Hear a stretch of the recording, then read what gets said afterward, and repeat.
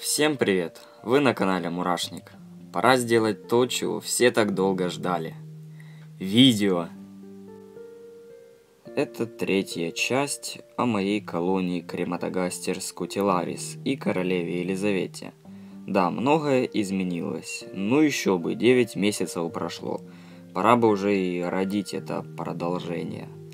Но если вы думали увидеть многомуравьиную армию, то ну, тут облом чуть-чуть. Дело в том, что то ли моя королева оказалась не особо плодовитой, то ли я такой хозяин, но колония выросла неприлично мало.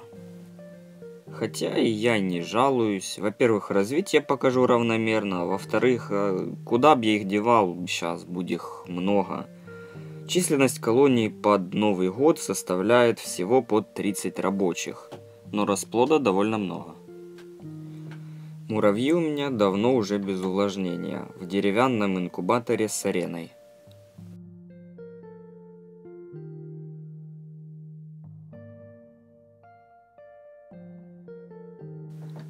Какой-либо достойной охоты я еще не видел. Кормлю преимущественно мелкими придавленными тараканчиками, мухами, ну и сахарным сиропом.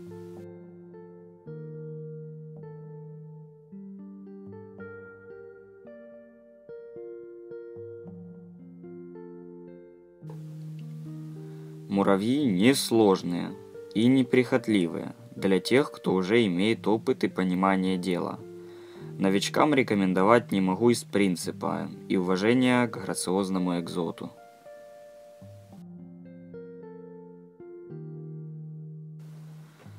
Зимовки, разумеется, нет, но спад активности, то есть диапауза, вещь естественная и также зависит от температурного режима. Могу отметить еще одну особенность – нечистоплотность. Кормовых насекомых муравьи тщательно выгрызают, однако даже тонкий хитин мелкими обломками скапливается в гнезде и на арене.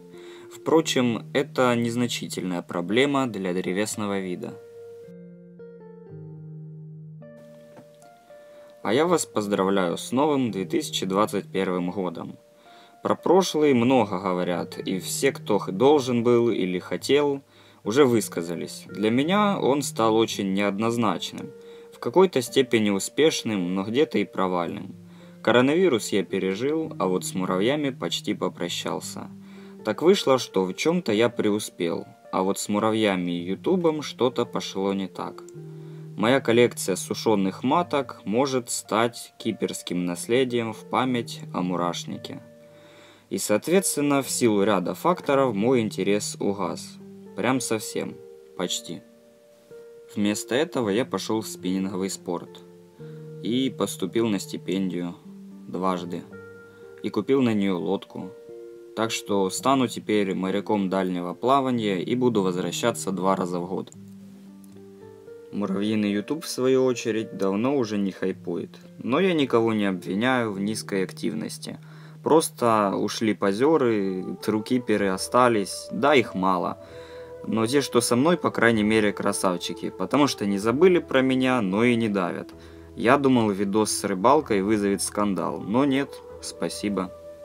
Залил сюда я его потому, что не собираюсь снимать на постоянке и создавать новый канал тоже.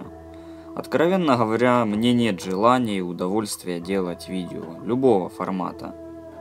Кратко говоря, в 2020 режим выживания так себе режим. Но я ведь и не за деньгами на YouTube шел. Так что на любительском муравьином ютубе ничего не изменилось. Хотите смотреть муравьиный контент? Смотрите «Мурашник в дома», «Скоро Ant», «Ant Life», «Friendly Ants» и еще на самом деле есть другие смотрибельные блогеры. Ссылки на всех в описании. А когда от меня видео ждать, ну вот кто знает. Вот когда Димыч схавает баночку копченых экофил, вот тогда и я обязуюсь сделать. Напишите ему в комментарии, он уже больше года задерживает эту трапезу. Все же ждали хайповый контент про экофила Смарагдина. Вот пусть покушает на стриме китайский деликатес, который сделал его отчасти знаменитым три года назад. Ну а с вами был Мурашник. Искренне желаю удачи в новом году.